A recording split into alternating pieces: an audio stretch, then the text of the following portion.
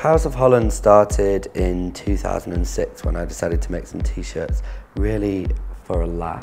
My uh, company started on the back of a joke, which was uh, four slogan t-shirts with rhyming couplets on them, uh, which were uh, very heavily sexually laden. It started out really as a bit of fun, as a sort of side project alongside my job working in teen magazines, and very quickly became my full-time career. For the first collection of menswear, we've kept it completely separate from the women's wear collection because I wanted it to really affirm its own status as being a standalone collection whilst portraying the same DNA of the brand. I have a much more personal connection to the clothes as in uh, with each piece I design I look at it as do I want that, is that desirable to me, can I see that as being fitting in as part of my wardrobe, do I want to buy that. So I think I have a slightly more commercial brain when designing menswear. There's slightly more uh, restrictions in terms of silhouettes and shapes that you can explore.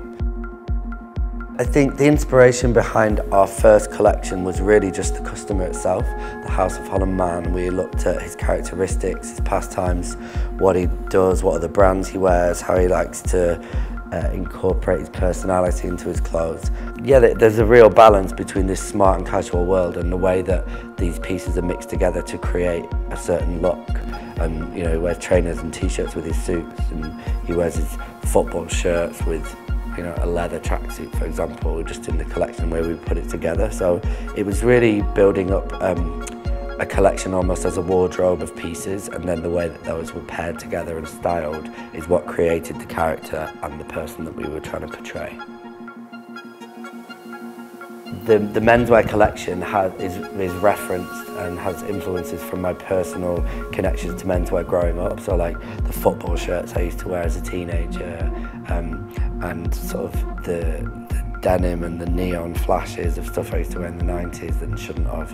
Um, and so I thought it would be really fun to go back to my hometown um, of Ramsbottom um, and shoot it around the town and incorporate the town into the shoot because I felt like that was um, an interesting way of us portraying the clothes from a Martin perspective and he would be able to document the town and, and get the feel of that northern town. Because I think there's so much about the humour to my work and the personality behind my work and what I really try and instill in it comes from my upbringing and comes from the place that I grew up and the people that I grew up with. And it was a little dull while we were there, but didn't it get brightened up by the characters of the people? Yeah. Everyone's got a sense of humour there and everyone's happy to take the piss out of themselves.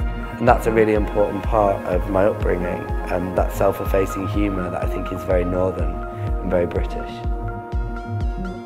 I managed to buy a print of his from a, charity auction that Rankin had put on for Oxfam when I ran the marathon a few years ago. And then when I first met Martin, uh, he was talking to him about his fashion magazine, which I'd also bought from Colette a few years before. And um, he was like, oh, it's a shame you don't have your fashion magazine with you. I could have signed it. And I pulled out my print from under the table and was like, I don't have my fashion magazine, but I do have this huge framed print. Maybe you can sign that. And he was like, okay.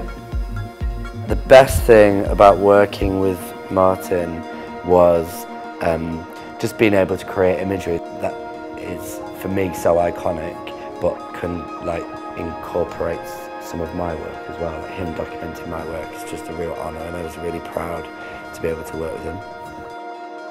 We started talking about working on it just with Martin shooting the collection and then that evolved into creating some of the pieces um, using some of Martin's more um, iconic imagery. And it kind of evolved around this idea of how I wanted to present the collection and that was um, as this kind of hybrid of um, as an uh, as a photography exhibition private view slash static fashion presentation. So we're creating this space within the Selfridges car park to exhibit Martin's imagery and also exhibit the clothes.